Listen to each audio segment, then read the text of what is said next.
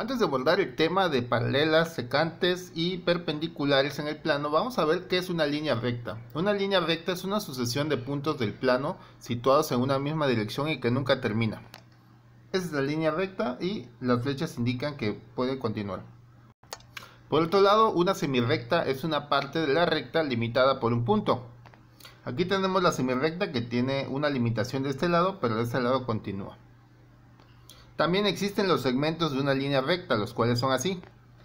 Esto es una parte de la recta, pero que está limitada por dos puntos.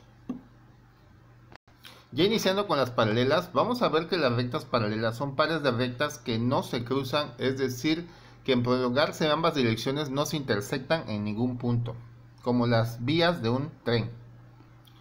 Las rectas secantes, por el contrario, se llaman así porque se intersectan en un punto, ¿sí? Aquí se intersectan. En este caso, aunque no se intersectan, si se prolonga, se llegan a intersectar y por lo tanto son secantes. Aquí también se intersectan. Las rectas secantes perpendiculares también se intersectan, pero en este caso al intersectarse deben formar ángulos de 90 grados.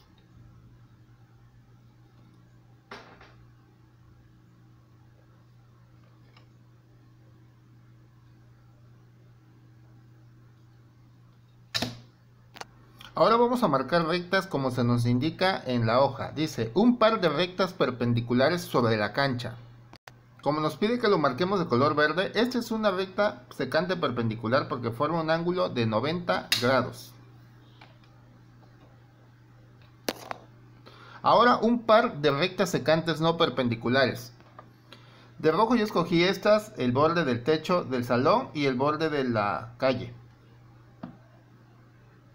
Y finalmente un par de rectas paralelas de azul. Para mí serían estas las rectas paralelas.